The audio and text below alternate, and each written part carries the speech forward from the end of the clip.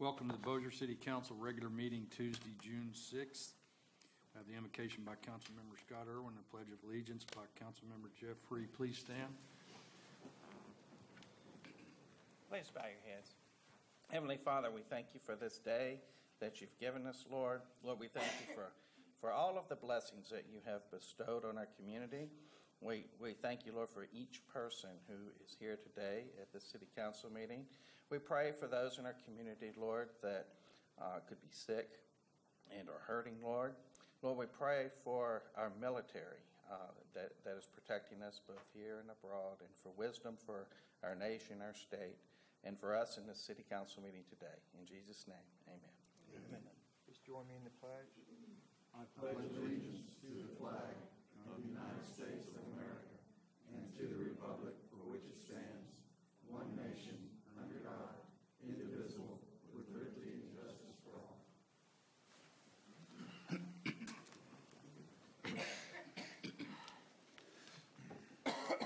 Roll call. Mr. Montgomery, Here. Mr. Larkin, Mr. Irwin, Here. Mr. Darby, Here. Mr. Williams, Here. Mr. Free, Here. Mr. Harvey, Here. all present. Approve the minutes of May 16, 2017 regular meeting and dispense with the reading. So move. Second. Council, please cast your vote. We have uh, Mr. Larkin, I punched that. Thank you. Council, we have one add-on uh, request. It's- It would be item number 27 under new business.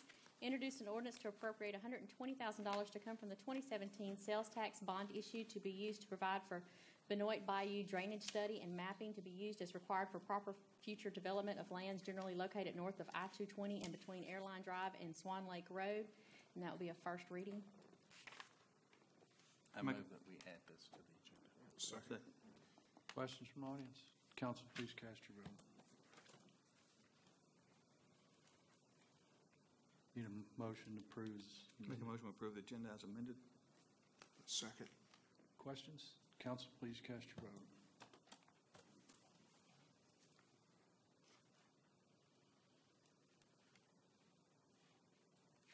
And we have with us Ms. Lisa Johnson, President of the Bossier Chamber of Commerce. Welcome. Thank you. So there's your B. Bossier. And just as we do it in Bossier, like a boss. So this is, this is my update for you on the marketing um, program that you're assisting us with. I'm Lisa Johnson, President of the Bossier Chamber, and it's a pleasure to be here today, Mr. President, Councilman, Mayor. And um, we are so excited about this program that you have entrusted us with at the Bossier Chamber to market and brand Bossier. And as you see, it is called bebossier.com. And when I came to you last year and I asked you for this funding, it was um, about building the foundation for this marketing platform. The foundation is being built and it is growing every day. I'm going to throw a few numbers at you today to just let you know how things are going and um, then tell you what we can anticipate next. So, this bebossier.com, this is a site that is a blog site where um, our um, our consultant that we hired, and allow me to stop real quick and say thank you to Sarah Abear with All Y'all Media is our consultant on this, and on behalf of our marketing chairman Mike McSwain, who keeps us in in tow all the time to make sure, and our communications director Jessica Hemingway. Between these three individuals, I have no chance in the world of anything because they're making sure that we are doing the work for you and the people's work. And so, uh, with this blog that uh, has, be, has been created with bebossier.com, it um, was stood up in uh, mid to late March. We have had, uh, we've got 20 posts already on there. The purpose of this is to post good news stories. And it's freelance writers that are assisting us with that about Bossier City and Bossier Parish. So 20 posts are up. And uh, without any really good marketing and paid for promotion, we are seeing that our top visitors to the website are um, City, obviously with 30, uh, right at 33%, and Dallas is at 27%.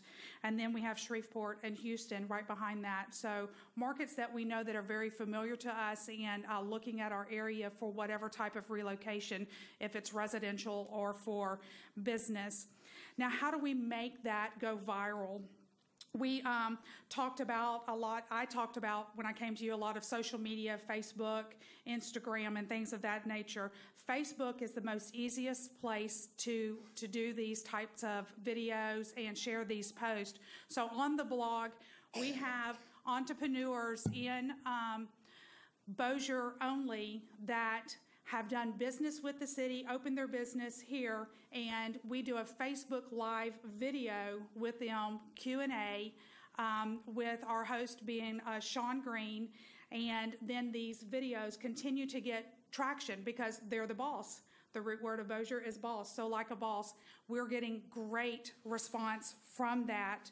Um, the uh, Sheriff Daryl video, like a boss, has reached, and this one was just done Memorial Day, has reached nearly 1,500 with 567 uh, unique viewers, 63 views, but it was shared 13 times.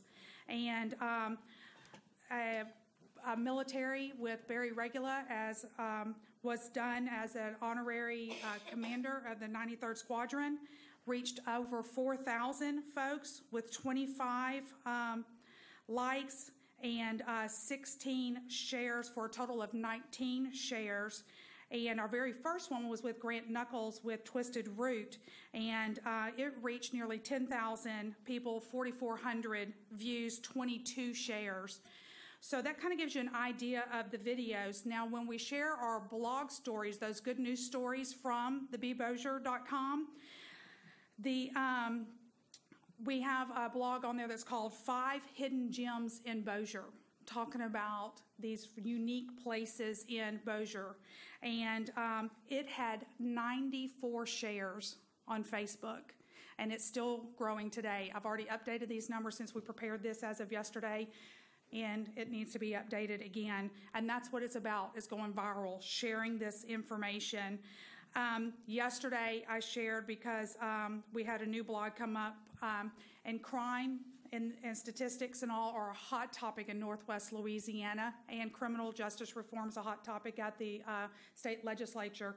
And so, uh, a blog was written about is Bossier safe? Here's what the statistics say, and it is a great story with the growth that's happening in this area, how we maintain and keep those numbers in check.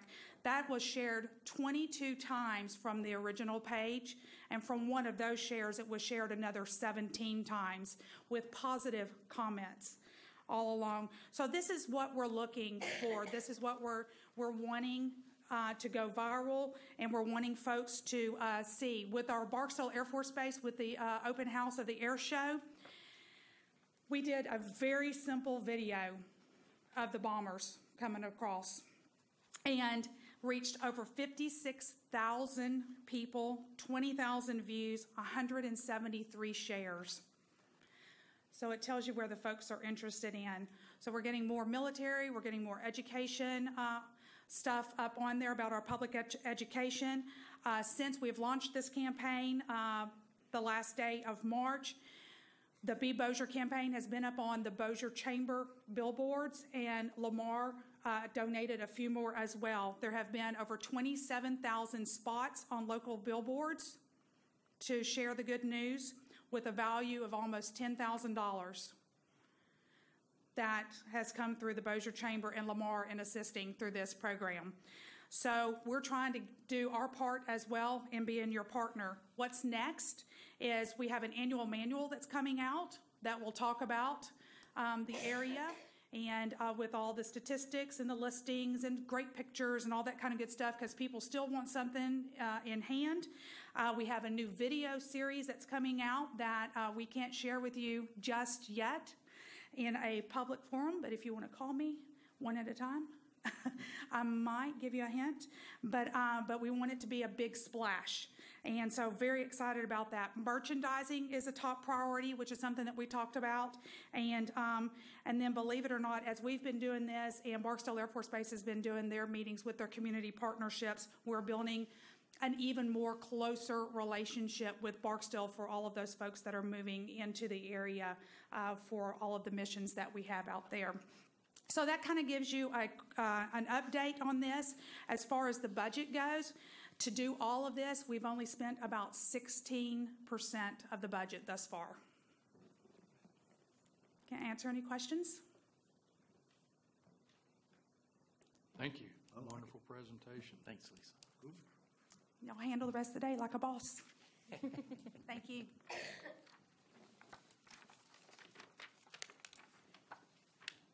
Unfinished business?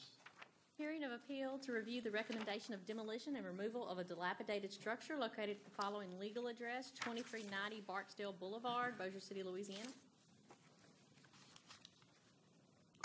Good afternoon, council. The- This property was condemned back in November 7th of 2016 due to the condition of the structure, uh, dilapidated, uh, open, unsecured, and uh, Robin Harville, Council. has been Um, appointed to represent the owners. We've been uh, successful in providing notice to the conventional owner, Pintail Holdings Investments. Uh, Mr. Summa Stelly, representative of the company, is here today. What he has shared with me that apparently they've had a, a tenant that they've had some issues with that's supposed to have been working on this, but, so they're looking forward to uh, judicially evict him so that they can undertake the appropriate repairs. And so Mr. Stelly is here today to make that proposal to the council. Who's the tenant? Do you mind me asking? Unless you want to speak first. No, um, Y'all could state your name and address for the record, please, Uh, Aaron Wilson, attorney for Pintail Land, and your address. uh, 707 Benton Road, Suite 125. My name is Summa Stelly. I'm representing Pintail Holdings LLC. I'm one of the member managers, and we're at 1815 Benton Road up All here. right, thank you. Um, Council, the, um, the tenant is, excuse my pronunciation, it's Musli Alu Badi. And um, they, they did a lease to purchase agreement back in 2014. He has, he made substantial payments and was supposed to undertake the renovations of the property, but did not. Um, It, it came to their attention in, uh, their being Pintail's attention in uh, May when they got, received a letter from Ms. Harville um, that the repairs hadn't been made and that the property was condemned. They're in the process of filing a suit to evict him and to nullify the lease to purchase agreement. And once they have uh, possession again, they will make the necessary repairs. How long will that process take? Um, Well, we, um, we, we gotta, we have to get, um, a judge has gotta let us have permit, um, access back to the property. So, um, whenever that happens, I'll be meeting the, uh, I'll be meeting my general contractor, it'll be Federal Construction out of Shreveport. Uh, Mark and Chase Pittman, uh, run that. And, um, we'll be, uh, bringing that up sp- immediately. I mean, uh, I'll pull a permit and, uh, I'll have people over there working. When will you pull the permit? As soon as we get possession, the, like, the day after. 60 days, 90? 90 days should be sufficient, and if it's not, we'll come back before the council and request additional time. Has the lawsuit been filed? It has not. When is Uh, it gonna, this- uh, Christopher Stahl is representing them in that suit. I'm just here on this matter today. when's it supposed to be filed? Uh, When he returns from the CLE in Florida that he's at. You, you've had it since 2014, or they had it leased from you, and they haven't made any improvements, and you own the building, and you, y'all didn't know I'm it? selling it to him on a, on a lease purchase agreement, and he was under contract. He was supposed to make those, make those repairs, show me proof of insurance, and So he hasn't done that he has not done since that. 2014, Correct. and you didn't know it? Well, I did know it. I've, I've communicated with him multiple times, tried to give him, I mean, we tried to be fair. He put a substantial amount of money down, and I just tried to work with the guy. And, uh, every, and as we get these code violations in, I would go back over there and talk to him, and, uh, it just come down to where I just had to take legal action. I'm gonna tell you, this is in, in my district, and it's about ten years too late, in my opinion, of, of us condemning it. And Jimmy, if I can do it, I'd like to make a motion, we go ahead and, uh, tear down the building. Yeah, I mean, I, I think if they, if these guys were representing what they represented, were in the process, they could have already filed suit. They could have already started the process, and they haven't. So, I mean, I think you're well within reason to make a motion to that effect. Well, if I could say, I, I only bought the house. Excuse me. In- or the property in Excuse me. 2014. Go ahead. One second. Do I have a second?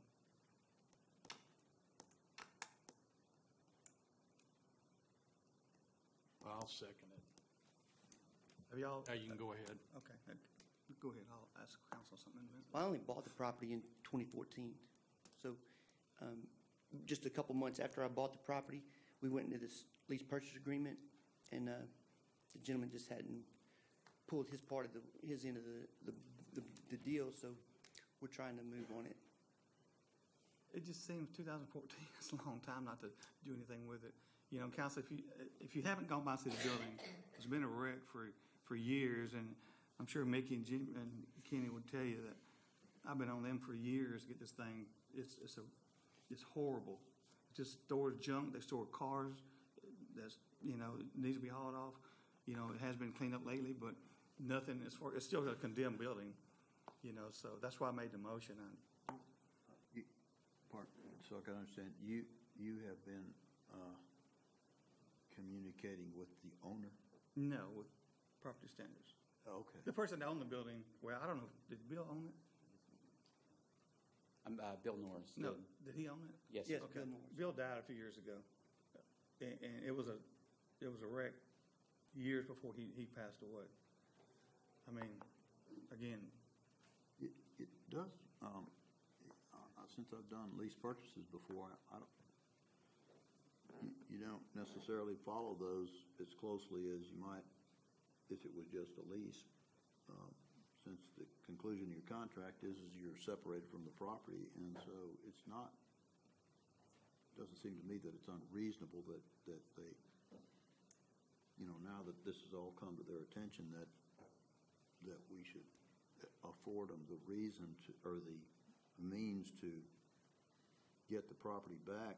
Um, I, but I was, I was trying to make sure I understood what, what you're representing you're gonna do. You're, you're gonna file suit, get the property back. Once you get the property back, you are representing to us that you're gonna bring the property up to standards. Is, is that right? Absolutely.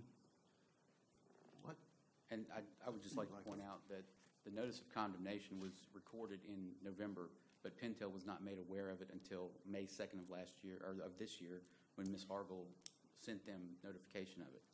The, all- all that was done was notices were posted, and Mr. Alabadi is the only one that would have seen that. do, do you live in Bossier? I do. I actually, I've lived in Bossier since I've lived here nine years, and then I just moved out to Kingston Plantation See, Tim, that's, that's what gets me. A year ago. If you're a property owner and when you got a lease purchase, don't you want to go by and see if that building's being taken care of or being upgraded at all? In three years, we hadn't done that? Am I, am I over the top or what? Yes, uh, I would just like to verify that, uh, Go ahead.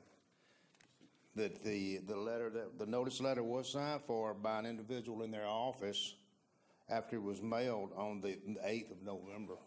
Of So whose there, office? somebody did sign for the letter in their office to let you know that, that someone in their office was aware of this. I was not aware of that just now, until now. So they did, so this has been going on since November? Yes, sir.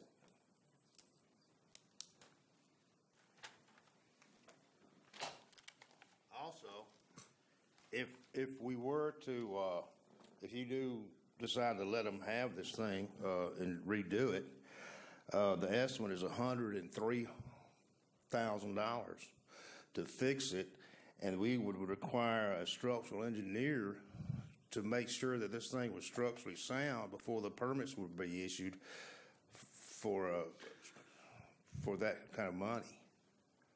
Just to let you know. You're aware of that, son? I'm good with that. Mr. Stelly is aware, well aware of that. Yeah, what is the, what's the downside of, I mean, if it's, if they're representing that they're, they're trying to get legal possession of it, and then they're representing that they're gonna fix it, what, So the, so the downside is just gonna sit there during that period of time while they're getting possession of it. Um, Is there any other, I mean, if it's been there all this time, it seems The to me downside that has been, reasonable. yes, the downside is that it's been there for years and years and years, that, My, my question would be, what's 90 more days in that uh, cause, situation? 'cause I'm, I'm tired of dealing with that one structure on the Yes, sir, corner of understand, Barksdale Boulevard right there. I felt it you know. to bring it up. Yeah, well, if you've been dealing with it as long as I have, it's, it's, it's horrible. Yes, sir. Even when the guy lived there, I knew him, it was horrible, you know? Well, is there a, is there a drop dead date that, that would come, I mean, would it, just, is it like, is it ninety days and, and that, is all of this a, Kind of at the mercy of the judge who hears it, and uh, whenever um, my regular counsel, whenever Chris gets back in town and he files the suit, um, then uh, we'll, um, I'll know more, but within 24, 48 hours of the judge giving us possession of the properties, there'll be a permit pulled. General contractors will be in there working within a week. I mean, it, we, we're not gonna, we're not gonna wait, we're just gonna get it done. And, um, Well, like Mickey said, you gotta have a structural engineer first come out there and, Got to get a judge to give me possession of it first, and then we'll go and how walk long would through that take? I mean, we, do we, If, if Mr. Stahl filed suit tomorrow, when he got back, we could have a court date within four weeks. So 60 days would be plenty? Si- 60 days would be plenty, but I, we would prefer 90 days to make sure that we don't run into any issues. Well, why not 60 and you can come back if you're having issues? 60 would be as acceptable as well. You're, you're, so. Yeah, I just need a little time. hey, I'm, I'm, I'm gonna vote to tear it down, and, and if y'all vote to keep it, I would just want you to, I ask you in the next sixty days to go by and look at the building. You know, cause I'm- evidently, I'm that, that very hasn't well been within done mind. yet.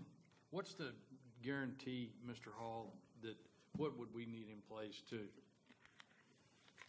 ensure that that's done, and if it's not, then, Well, you can make an order to demolish, to demolish and suspend it for 60 days, and if the 60 days, the permit hadn't been taken out and all the accomplishments made, it'd be demolished. I mean, that, that has the, uh, the fact that you've already taken action and suspend it for 60 days, let them have 60 days to do it. What, what is concerning to me is the representation is we're in the process of filing suit. And whether Mr. Stahl's here or any other lawyers here, they could have filed suit before they showed up today to show they're in the pro, the process is actually being done. So I, I, I can't tell you if it's gonna be four weeks, eight weeks, whatever it's gonna be. I don't even know what the process is under the agreement, but obviously it's some kind of summary process if they can get a four-week hearing.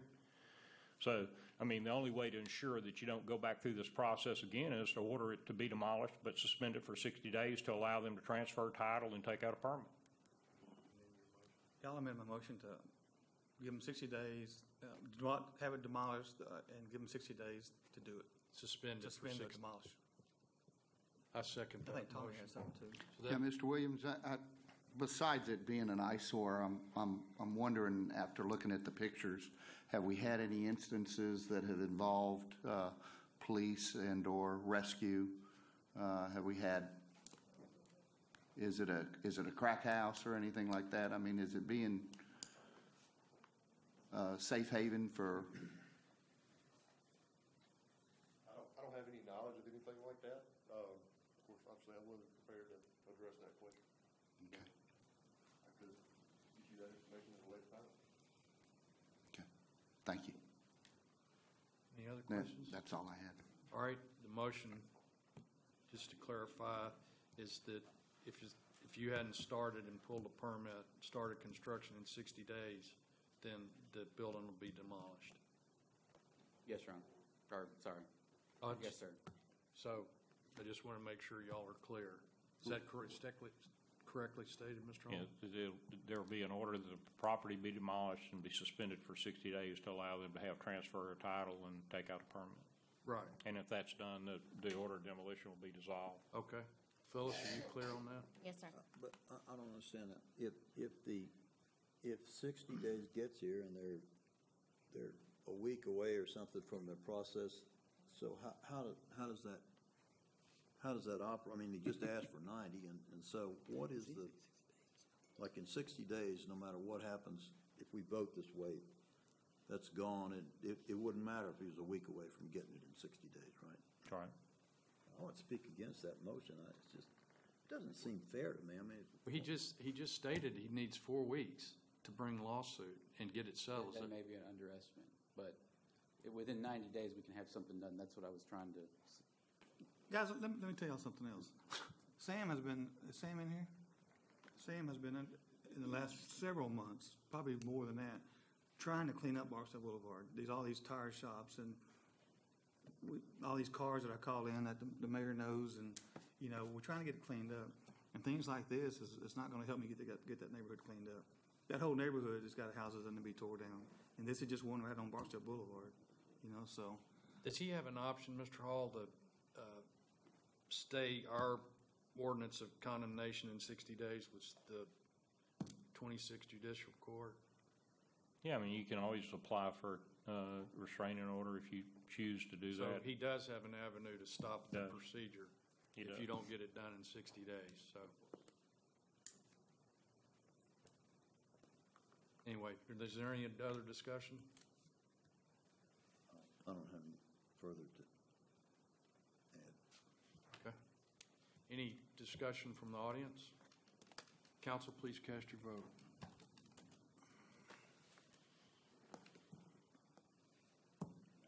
Thank you, gentlemen. Thank you, fellas.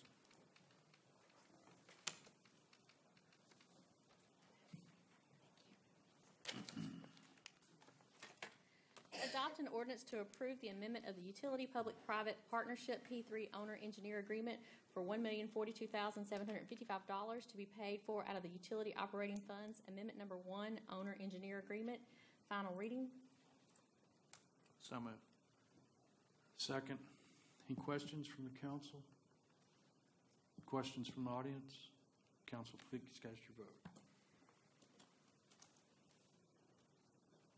Adopt an ordinance appropriating $25,000 from the 2017 EMS Capital and Contingency Fund to purchase Physio Control Titan 3G modems for use with Physio Control LifePak 15 cardiac monitors. Final reading. So moved. Second. Questions from the audience? Council, please cast your vote.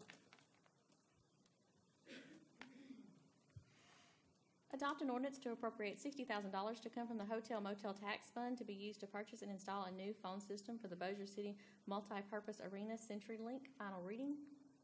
So moved. second. Questions from the audience? Council, please cast your vote. Adopt an ordinance assessing a $3 restoration fee on each ticket sold for any and all events at the CenturyLink Center. Final reading. So moved. Second. Questions from audience? Is that, um, that any and all events leaves the latitude on those ones that we said we're not doing this on? Is that, does, does this change the? Ticketed through Ticketmaster. Jimmy, please. you know, Yeah. I know we've had a lot of discussions lately, but ticketed through Ticketmaster. So, uh, again, just, it caught my eye here that since it says each ticket sold for any and all events doesn't seem to limit that. Is, am I reading that wrong or? What do Is you, that a problem? what are you looking at for an exception to that? Like the home builders thing that we talked about and these uh, events that they sell tickets to, there were, there were a number of events that we said were not included in this. Um, So this, since this says any and all events, it seems to contradict that. Um, Well, I think Sam and Rebecca stated the same thing. Yeah. It's not a ticketed event, it's tickets that are, that are given out, and I think David went on the news and explained the same thing. Just ticketed events through Ticketmaster. The home builders show, I think those tickets are given out there, so it's not a ticketed event through Ticketmaster. And you can't buy them online, you, like you can through Ticketmaster.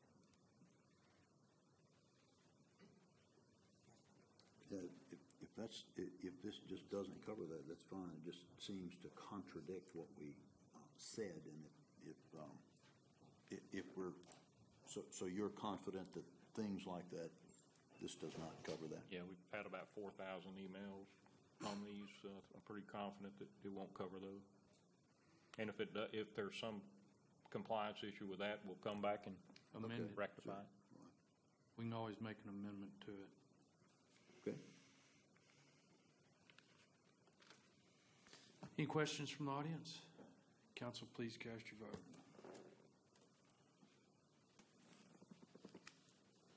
Adopt an ordinance appropriating ten thousand dollars from the general fund fund balance to co-sponsor the Traveling Vietnam War, Wall on June eighth through thirteenth, twenty seventeen. Final reading. So move. Second. Questions from the audience? Council, please cast your vote.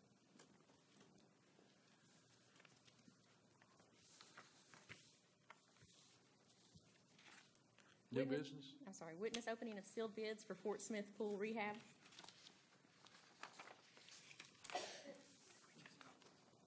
Good afternoon, Council. The engineer's estimate for this job is 275000 and the approved budget is 275000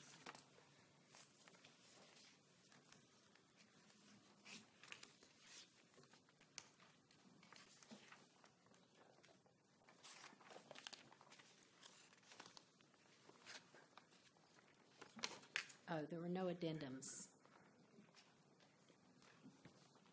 The first bid is from Progressive Commercial Aquatics. It's for two hundred seventy-four thousand five hundred dollars, and the bid bond is included. What was the budget amount? Two seventy-five. Okay. I just didn't see it on here. I move we accept the reading of this bid. Second. Questions from audience? Council, please cast your vote.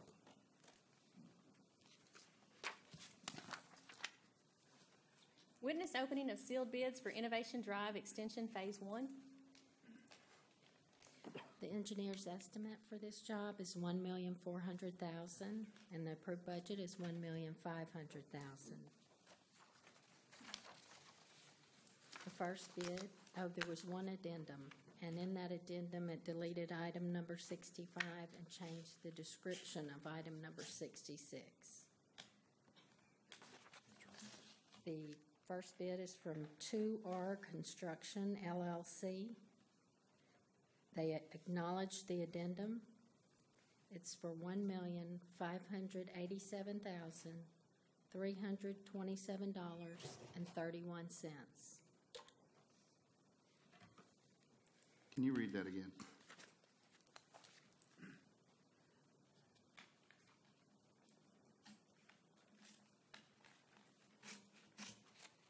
One million, five hundred eighty-seven thousand, three twenty-seven point three one.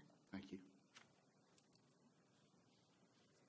The next bid is from Best Yet Builders. They acknowledge the addendum. The bid bond is included. It's for one million, three hundred twenty-six thousand, five hundred fifty-two dollars.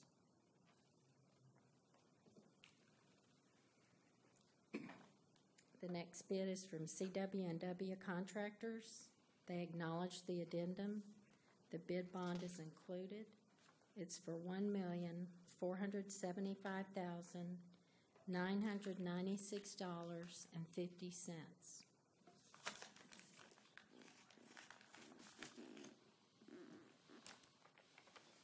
The next bid is from Boggs and Poole. They acknowledge the addendum. The bid bond is included. One million, two hundred forty-eight thousand, four hundred thirty-six dollars and ninety-three cents.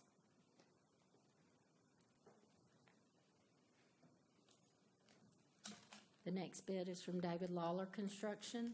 They acknowledge the addendum. The bid bond is included. It's for one million, one hundred sixty-seven thousand, nine hundred sixty-six dollars.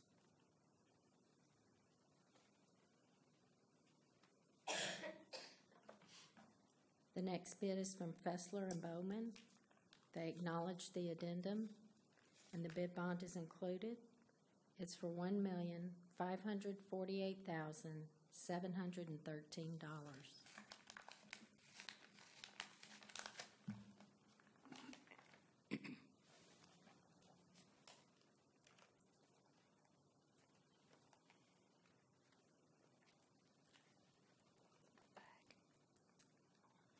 The next bid is from FJ Burnell. They acknowledge the addendum. The bid bond is included. It's for one million, one hundred twenty-eight thousand, two hundred thirteen dollars and seventy cents. The next bid was done on BidSync. The bid bond was included. It's for J.B. James Construction for $1,795,469. The last one. Mm-hmm. And this is the last one. It's from Yorwick Construction. The addendum, they acknowledge the addendum. The bid bond is included. It's for $1,363,711. I ask that you accept the reading of these bids. So moved. Second. Questions? Council, please cast your vote. Thank you all. Adopted zoning ordinance, first and final reading, favorable by MPC. Petitioner Sid's Oyster Barrel, location 2119 Airline Drive, Suite 100, Bossier City, Louisiana. Request conditional use approval for the sale of high and low-content alcohol for on-premise consumption at a restaurant. So moved. Second. Gentlemen, this is a new restaurant venture for Bossier, uh, Sid's Oyster Barrel, uh, requesting uh, alcohol on-premise consumption sales at their restaurant. It is over 500 feet from the nearest church, school, or other um, entities we measure from. Any questions? Questions from the audience? Council, please cast your vote.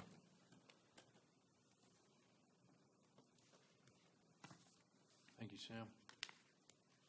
Approve report of change order number one and final change order for the Six Fountains Sewer Pump Station for an increase in the amount of $7,357. Total cost with, with change order $422,355. So moved. Second. Questions from the audience? Council, please cast your vote.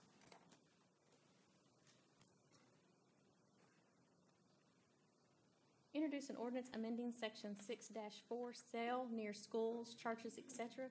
of the Bossier City Code of Ordinances to include a full-time daycare center as defined in revised statute seventeen colon four oh five A four, first reading. So moved.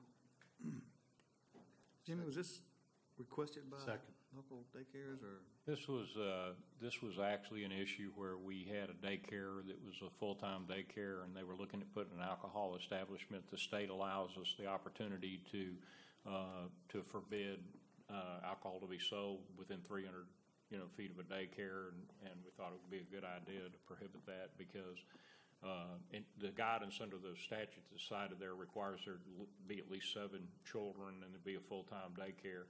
So it can't affect somebody just taking care of kids in a home that are there, but it stops alcohol from being sold right next to a place where kids are being kept. Any other questions? Questions from the audience?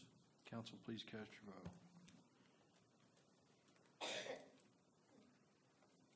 Introduce an ordinance appropriating forty thousand dollars from the general fund fund balance for a complete assessment of capability and vulnerability of information services and systems of the city of Bossier City, first reading. So moved. Second. Any questions? Questions from the audience? Council, please cast your vote.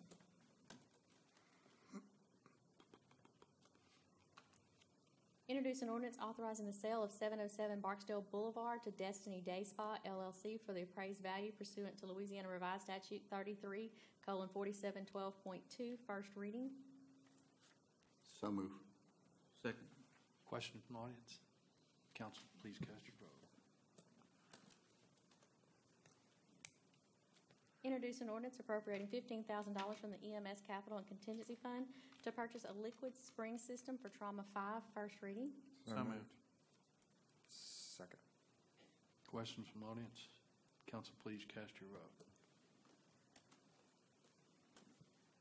Introduce an ordinance appropriating eighty thousand dollars from the twenty seventeen EMS Capital and Contingency Fund to purchase two vehicles for the EMS Division, first reading. So moved. Second. Questions from the audience? Council, please cast your vote. Introduce an ordinance appropriating $6 million to come from the 2015 LCDA Capital Projects Fund and authorizing the mayor to sign any and all documents necessary to acquire right-of-way property necessary for the Walter O. Bigby Carriageway, also known as Parkway Northern Extension Project. First reading. So moved. Second. Questions from audience? Council, please cast your vote.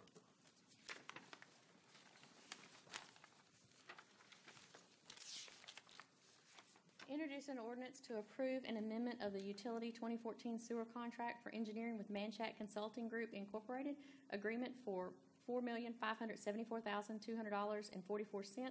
Amendment number two, owner engineer agreement, first reading. So moved. Second. Questions from the council? Questions from the audience? Council, please cast your vote. Introduce an ordinance to approve the installation of sewer service along Hope Street for $350,000, first reading. So moved. Second. Scott, let me ask you a que, uh, maybe a couple questions. Sure. How many people are gonna hook up to that line? Do you know, or have you got an Uh, estimate? Mrs. Collins is here, and uh, if I could defer to her, she has exact, exact numbers. Ms. Collins, could you state your name and address, please, for the record? Thank you. Brenda Collins, 2110 Hope Street. Um, I am representing all of Hope Street, and there's five families here today. There are 12 names listed on the petition I delivered to each of you on March the 10th. And I can tell you that all 12 of those families plan to hook up to the sewage. We have wanted this for over 25 years, so we are very eager to. There's only one family that is not. There's one home that's for sale uh, just recently, and I have not been able to get in touch with that owner who lives out of town, but I feel like they will also want to do that. But I can't say that, but I know 12 of us are. And you're in the s- the city limits, and you have city waters. We absolutely do. We absolutely do. And it has been in the city limits since Reamer Calhoun purchased that property from the Romers. And uh, we were in the city limits then. We didn't have city water. We fought for that for a long time and were able to successfully get off of the South Bossier water system. And uh, thankfully, uh, onto the city water system. And we just really need city sewage. Why have you waited this long, I guess? I didn't wait this long. We didn't wait this long. We asked for uh, city sewage whenever we tried to get on city water, and uh, we were turned down uh, by the council. Uh, it's there's been two mayors. The mayor uh, Dement. We I mean we worked with Mayor Dement prior to Mr. Walker, and, and we've worked with our councilman. We thank Scott Irwin for for bringing this to your attention. And, and we, we really appreciate any support that you can give us for that. We really need city sewage. It, it, I'd like to just add, you know, uh, since it last came up, Parkway High School has been built, which isn't very far from your area. that, that's exactly right. Uh, And there's just one big tract of land now. Y'all used to be kind of out far, but you're not as far out as you were. The city has grown. That's south. true. And there's the trailer park, Pecan Valley Trailer Park, that is further south than we are on the other side of the highway. And they have been on city sewage for my 25 years of being there. So it's just time to. It's time. It's time. Any other comments from the council? What, um, I wanted to ask Mr. Hudson to share with the council what will be involved in the installation of sewer.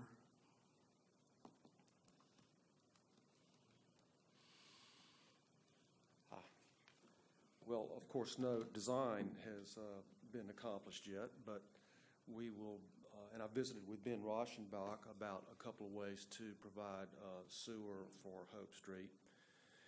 Uh, One, my budget included a sewer main down the rear of each property line, both sides of the street. Um, Felt like that would be the easiest way for the homeowners to hook up to the sewer main. There's, there's issues with that. If, um, we would need to get an easement across the rear of every backyard, and if uh, one uh, homeowner didn't want to grant us that easement, then that, that plan would not work. The, the conventional method is to lay one sewer main down one side of the street, and the homeowners uh, hook up that way. That would be uh, least expensive uh, for the city, but it would cost more for the homeowners to hook up that way.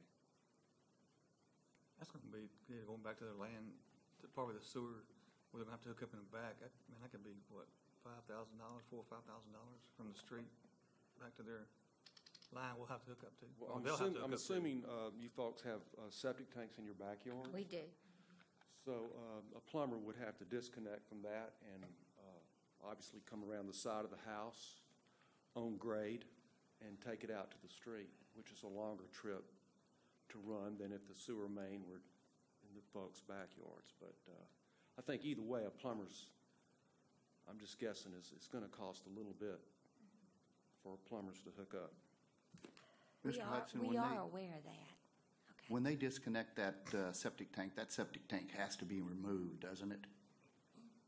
Uh, Councilman, I don't, I don't really know. I would think maybe they could be filled up with sand and left in place maybe, but I, I'm, I don't, I'd have to get you a better answer than that. Any other comments from the council? Thank you, Ms. Collins. Thank you, Ms. Collins. Any other questions from the audience? Council, please cast your vote.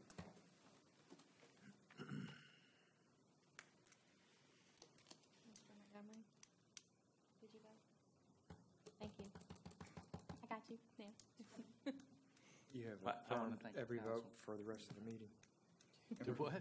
You have affirmed every vote for the rest of the meeting. Good. Let's back it up. Thank you, council, for your supporting this measure. Introduce an ordinance to appropriate six thousand dollars to come from the Riverboat Gaming Capital Projects Fund to be used to contract with Neel-Schaffer Associates to provide a traffic impact study to determine the feasibility of a right-hand turn lane on Brownlee Road at the Airline Drive intersection as required by DOTD. First reading? So move. Second.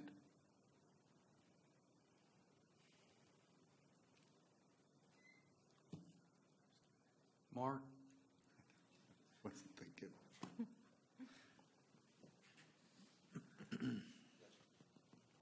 Is this something that we've always required when we did turn lanes, or, Well, in this case, uh, I or visited. that was required of us, excuse me? Um, Well, when we build a, um, a turn lane that hooks onto a state route, we need to get a project permit from DOTD. And in this case, I visited with Jim Olier, the traffic superintendent for this district, and um, he asked that a study be done to determine if this was really warranted, and that's But what this is My all about. question was, have we ever been required to provide this when we built turn lanes? Let's take, for instance, the first one. Yes, That we initiated on Airline Drive to I-20. Did, did we have to do this? I don't recall. That's a good answer. Well, I mean, I I wasn't prepared, but um, It's just, I don't We- we had to- remember having an ordinance on turn lanes that we've Probably done. not, because common sense says on that one there, there's too much traffic, you know, we can get, get rid of it. But I mean, I'm just asking, you know, when we spend money, that's our job up here is to ask questions. Sure. As to why we're spending it. Is it, is it a necessity or is this just another? This, this is a necessity. We're not going to, I can't, uh, I'm not going to be able to bring a set of plans for a turn lane on Brownlee Road on the Airline Drive over to the Highway Department and then give me a permit. They're going to want to know, is this warranted? Is it justified? And we, they're going to want to see a traffic study Mm. Would, done. just for old time's sake, can we figure out if this is the first time we're having to do this? I can. I can get you an answer on that. Thank you. Yes, sir. Any questions from the audience? Council, please cast your vote.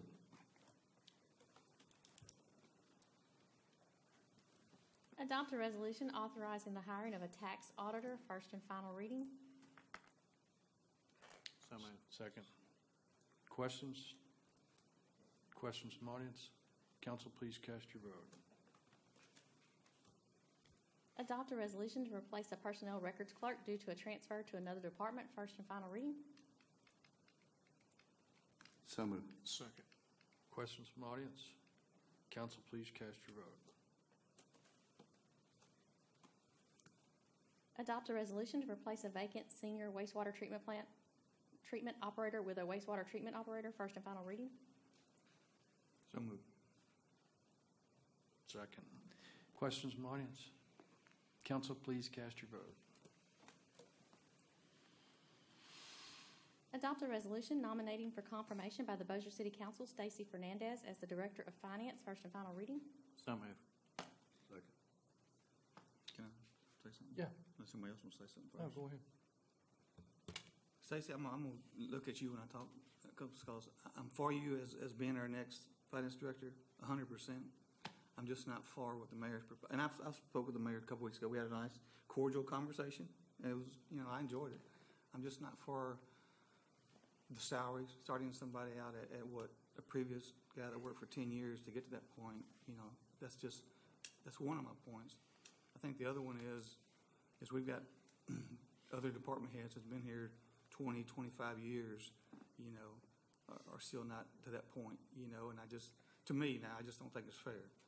But I just want you to know, that's, that's my reason, it has nothing to do with you. I think, I want to work with you, I, I think you'll be good, but it's just the salary that's, that's my problem.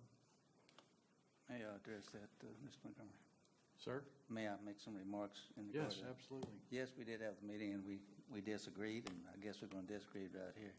Uh, There is precedent for hiring replacement folks at, at salary of their predecessor. Uh, Exceptions were made when Mr. Westbrook passed away. Uh, Stacy was asked to step in and handle that along with her other duties, and she did that for a year without any compensation, and finally was moved up a little bit, about ten, fifteen thousand. But the records clearly show that that salary today with a man in it was about hundred and five thousand dollars. The benefit package varies a little bit, but since the adjustments have been made within the Department of Finance, y'all have passed an ordinance showing that we are going to save over fifty thousand dollars a year, every year, as a result of these changes. And uh, talking to Stacy, that looks like there may be another fifteen thousand. So my feelings is she is a lady, but she is more knowledge, she's the most knowledgeable person we can get. And our finances is our blood of our operation. If they're not managed right, everything goes wrong. So I think we should get the very best person available, and that's Stacy, and I think we should pay her at the salary of the her predecessor. I, just like I said, I, I'm for, but, but I- now you, you bring up, because she's a lady, and, and we paid the man that, that, that, to me, that's totally out of line, because that, that don't even cross my mind, Mayor. Okay, then Just, just disregard. salary, that's all.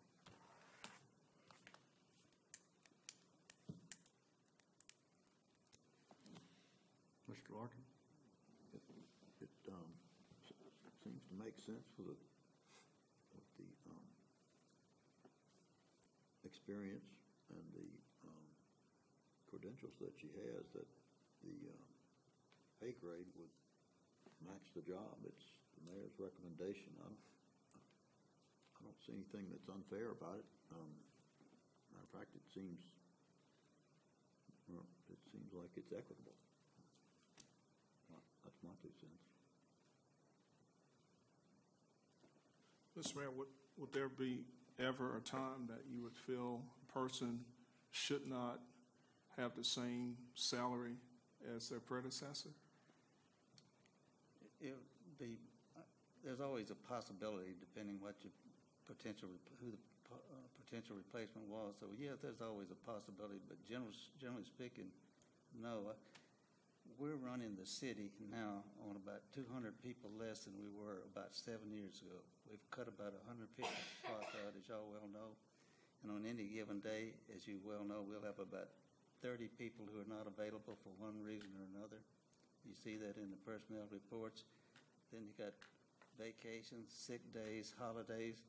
So these department heads have had to pick up the slack, and they've done an admirable job of it, and they should be compensated properly for doing that. So to answer your question, generally speaking, I would go for any replacement at the, at the salary of their predecessor unless there were some extenuating circumstances.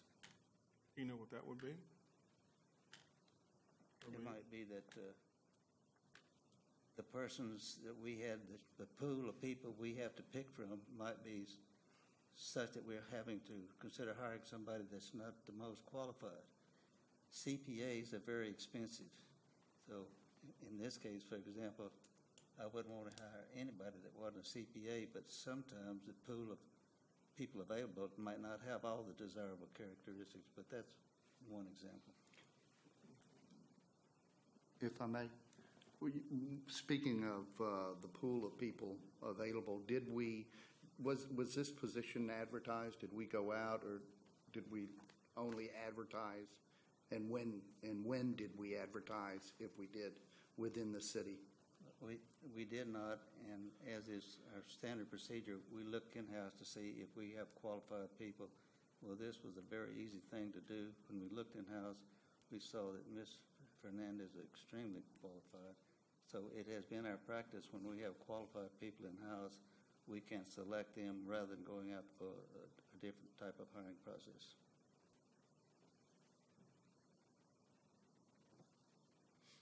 And I'll say a few words that as everyone on the council well aware of. I'm a former CPA. That was my field, and I can certainly speak to the responsibilities that she has as the chief financial officer of a business that, you know, $100 million business plus, and, and managing the different enterprise funds and the different accounting systems and so forth. And it is, it's a tremendous responsibility.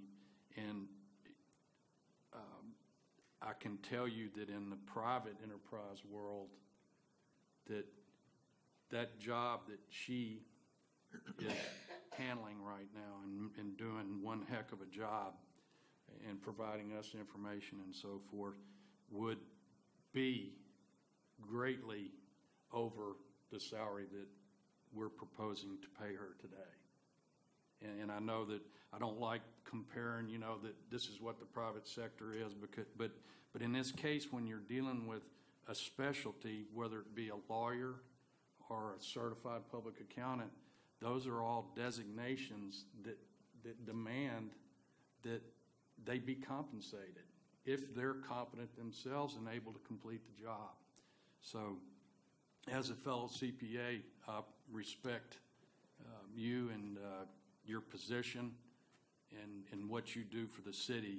And in, in this case, I'm for uh, her being paid equally with her predecessor.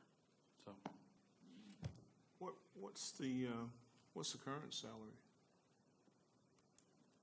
It's around a hundred and five thousand plus benefits. That's, that's what she's earning now? No, no, no. I- That's, that's what the income up would be.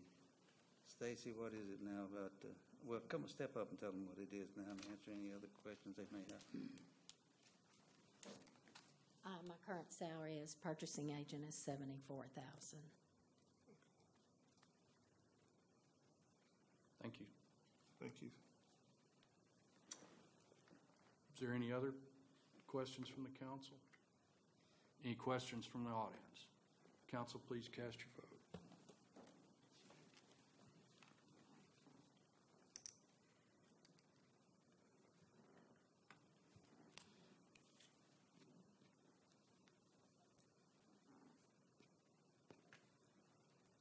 Adopt a resolution authorizing the hiring of a tax auditor, first and final reading. So moved. Second. Questions from the audience? Council, please cast your vote. Adopt a resolution authorizing the hiring of one replacement police records clerk one due to a resignation from the department, first and final reading. So moved. Second. Questions from the audience? Council, please cast your vote. Adopt a resolution authorizing the hiring of one fire department line employee to replace one firefighter position due to a retirement, First and final reading. So moved. Second. Questions from the audience? Council, please cast your vote. Adopt a resolution authorizing the hiring of one fire department line employee to replace one firefighter position due to a termination. First and final reading. So moved. Second. Questions from audience? Council, please cast your vote. Adopt a resolution, sorry. Adopt a resolution to hire one recreation maintenance worker one to replace a vacant position in Parks and Recreation. First and final reading. So moved. Second. Questions from audience? Council, please cast your vote. Adopt a resolution to fill two vacancies in the Public Works Department. First and final reading. So moved. Second. Questions from the audience? Council, please cast your vote. Adopt a resolution to hire one accounts clerk one and promote one position in the Water Billing Customer Service Department to backfill a utility billing and collection supervisor position. First and final reading. So moved. Second. Questions from audience? Council, please cast your vote.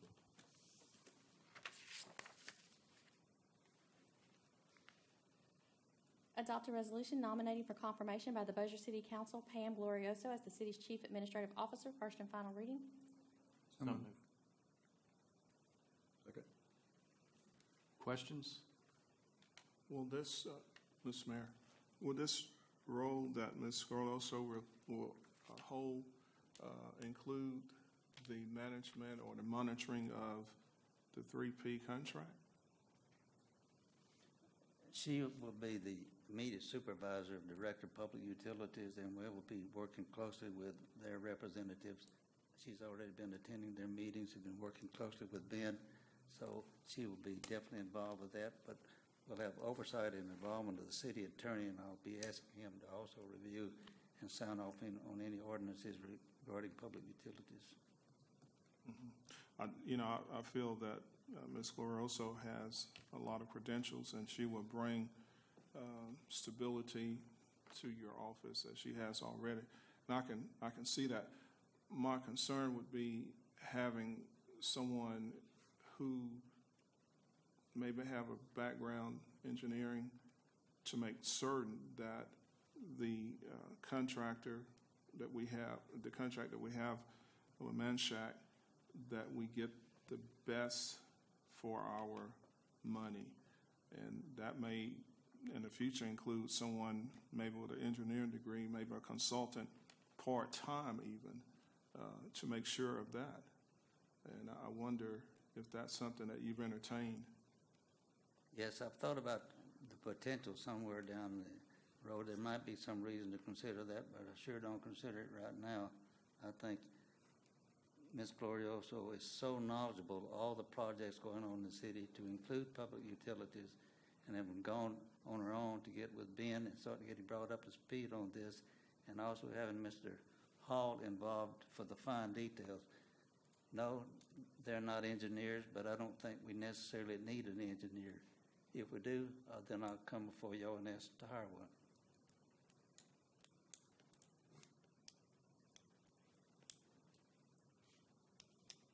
Mr. Oliver was an engineer, am I right? He is.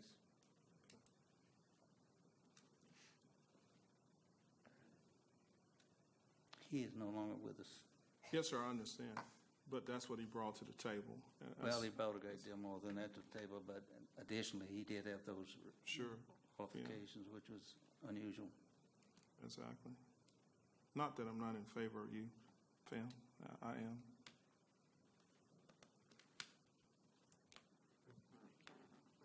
Mean, I'm just asking the question. We have an engineer, Mr. Hudson, who's a department head.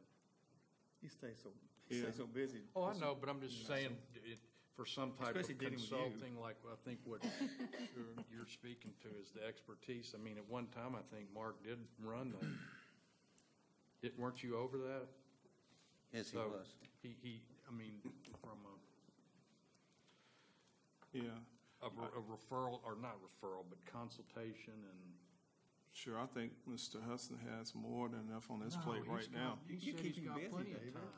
As a matter of He fact, told me he doesn't know what to do until, After two o'clock. We, we, you know, Cliff spent a whole, Cliff did spend a whole lot of hours, because we, we met with him a lot. I mean, I mean, a lot of hours. I know. And I understand what Jeff's talking That's, uh, about. And, and quite frankly, we, the administration, made the decision not to hire a replacement director for that department who was an engineer, and we've been doing, I think, pretty darn good, particularly with the expertise we're getting from Ben and uh, his counterparts. Well, sure.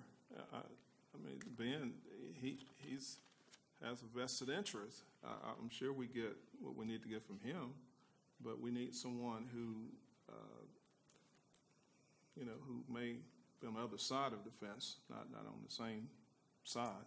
Although we have a partnership, and I understand that, but we, we still have to think about the, the best for the people's money in that, that contract. Well, I can assure you, as we go down the road, Mr. Darby, if we recognize that we have the need of an engineer for public utilities, I'll be the first one to come before you and the rest of the council requesting that we acquire one. Thank you, Mr. Mayor. Any other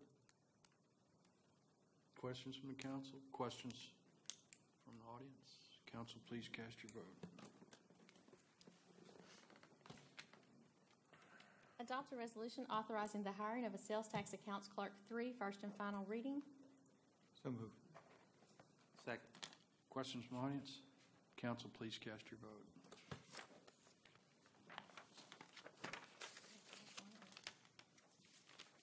Introduce an ordinance to appropriate $120,000 to come from the 2017 sales tax bond issue to provide for Benoit Bayou drainage study and mapping to be used as required for proper future development of lands generally located north of I-220 and between Airline Drive and Swan Lake Road.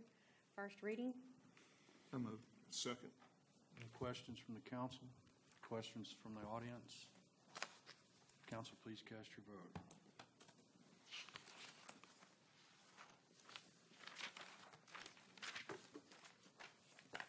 And uh, a notice that we're required to read today, we are hereby, the Bossier City Council canceling the June 27th, 2017 agenda meeting and the July 6, 2017 regular meeting due to the lack of members that can attend the July 4th during that holiday week. All items introduced on June 13, 2017 will be considered for adoption on July 18th of 2017. Properly stated? Yes, sir. notice given. Uh, And uh, one other thing, since we did adopt the uh, P3, our partnership with Manchac, um, and I- just for the record, I'd like everybody to know that we have saved through 10 months over $3.7 million. Is that correct, So uh, that's certainly ahead of the $2 million that we originally estimated, and, and quite possibly we'll hit over the $4 million savings mark, which is double what we had originally anticipated. So congratulations to Manchac, congratulations to the mayor and the Water and Sewer Department and all of their employees for, uh, as the mayor said, doing more with less and making it happen. Have a great week. Thank you all for coming. Meeting adjourned.